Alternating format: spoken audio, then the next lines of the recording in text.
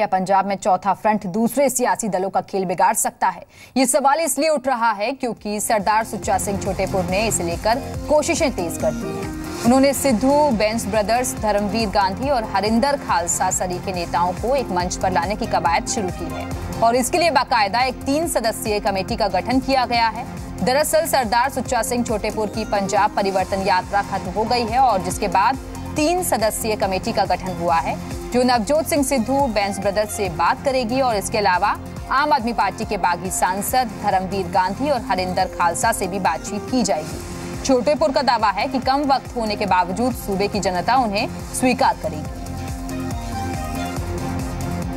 ਸਰਦਾਰ ਗੁਰਿੰਦਰ ਸਿੰਘ ਬਾਜਵਾ ਹਰਦੀਪ ਸਿੰਘ ਜੀ ਕਿੰਗਰਾ ਅ, colonel Gill ਇਹ ਤਿੰਨ ਬੰਦਿਆਂ ਦੀ ਕਮੇਟੀ ਬਣਾਈ ਹੈ ਜਿਹੜੇ ਅ, ਸਰਦਾਰ ਨਵਜੋਤ ਸਿੰਘ ਸਿੱਧੂ ਨਾਲ ਗੱਲ ਕਰਨਗੇ ਅ, ਅ, ਡਾਕਟਰ ਗਾਂਧੀ ਜੀ ਨਾਲ ਗੱਲ ਕਰਨਗੇ ਐਮਪੀ ਸਾਹਿਬ ਨਾਲ ਖਾਲਸਾ ਜੀ ਨਾਲ ਗੱਲ ਕਰਨਗੇ ਬੈਂਸ ਬ੍ਰਦਰ ਨਾਲ ਗੱਲ ਕਰਨਗੇ ਸਰਦਾਰ ਪ੍ਰਗਟ ਸਿੰਘ ਨਾਲ ਗੱਲ ਕਰਨਗੇ।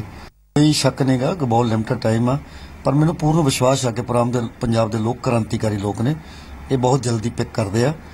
ਤੁਸੀਂ ਅ, ਪਿਛਲੇ ਪਾਰਲੀਮੈਂਟ ਦੀਆਂ ਚੋਣਾਂ ਵੀ ਵੇਖ ਲਈਆਂ ਹੋਣੀਆਂ। तो आपको बता दें कि आपके पूर्व पंजाब संयोजक सुच्चा सिंह छोटेपुर ने चौथे मोर्चे की कवायदें शुरू कर दी हैं और इसी के चलते एक मंच पर लाने की कवायद हो रही है तमाम और पार्टी के नेताओं को। और बाकायदा इसके लिए तीन सदस्यीय कमेटी का गठन भी किया गया है।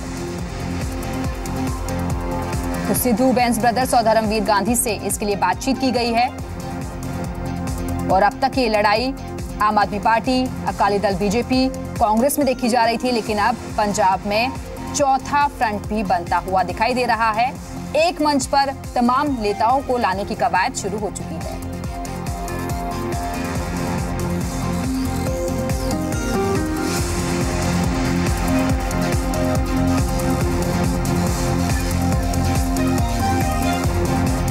और इस वक्त हमारे संवाददाता जगतार भुल्लर हमारे साथ जुड़ गए हैं पंजाब से।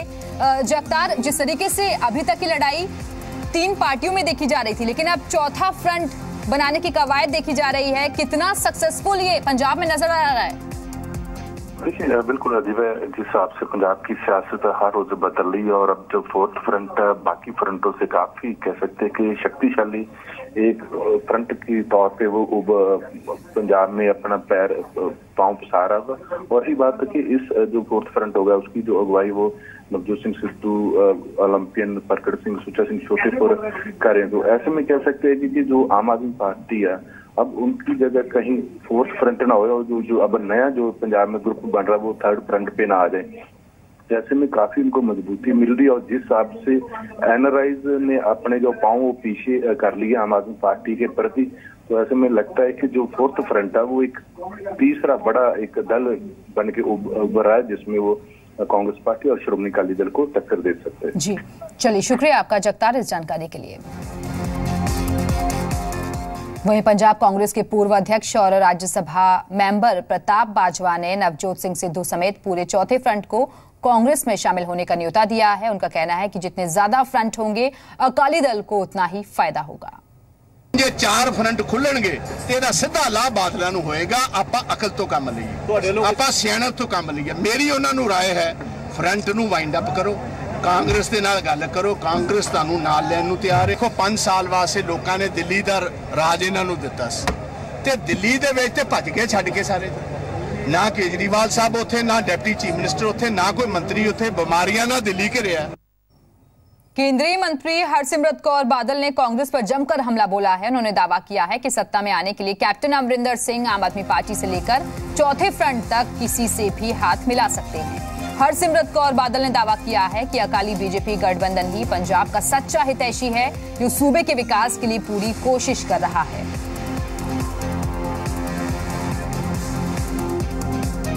ਚੌਥਾ ਫਰੰਟ ਹੋਏ ਜਾਂ ਆਮ ਆਦਮੀ ਪਾਰਟੀ ਹੋਏ ਅਮਰਿੰਦਰ ਸਿੰਘ ਇਹਨਾਂ ਸਾਰਿਆਂ ਦੇ ਨਾਲ ਰਲ ਮਿਲ ਕੇ ਹੱਥ ਮਿਲਾਣਗੇ ਪੰਜਾਬ 'ਚ ਸਰਕਾਰ ਬਣਾਉਣ ਵਾਸਤੇ ਤਾਂ ਕਰਕੇ ਜ਼ਰੂਰੀ ਹੈ ਇਹ ਸਾਰੇ ਇੱਕੋ ਬਰਾਬਰ ਨੇ। ਇੱਕ ਸਿੱਕੇ ਦੇ ਦੋ ਪਹਿਲੂ ਨੇ। ਮੈਂ ਕਹਿੰਦੇ ਆਮ ਆਦਮੀ ਪਾਰਟੀ ਨੂੰ ਕਾਂਗਰਸ ਨੇ ਖੜਾ ਕੀਤਾ ਹੈ। ਇਹਨੂੰ ਦਿੱਲੀ ਵਿੱਚ ਖੜਾ ਕੀਤਾ ਸੀ। ਆਮ ਆਦਮੀ ਪਾਰਟੀ ਨੂੰ ਕਾਂਗਰਸ ਨੇ ਸ਼ੀਲਾ ਦੀਕਸ਼ਿਤ ਦੀ ਸਰਕਾਰ ਨੇ ਭਾਜਪਾ ਨੂੰ ਸੱਤਾ ਤੋਂ ਬਾਹਰ ਰੱਖਣ ਵਾਸਤੇ। ਇਹ ਅਕਾਲੀ ਭਾਜਪਾ ਦੀ ਸਰਕਾਰ ਹੈ, ਜਿਹੜਾ ਕੱਲੇ ਪੰਜਾਬ ਤਾਈਂ ਸੀਮਿਤ ਹੈਗੇ, ਪੰਜਾਬ ਤਾਈਂ ਸੋਚ, ਨਾ ਕਿਸੇ ਹੋਰ ਨਾਲ ਅਸੀਂ ਗਠਬੰਧਨ ਕਰੀਏ। ਵਿਕਾਸ ਵਿਕਾਸ ਵਿਕਾਸ, ਹਰ ਵਰਗ ਨੂੰ ਸਹੂਲਤ, ਸਾਡਾ ਹੀ ਨਾਰਾ।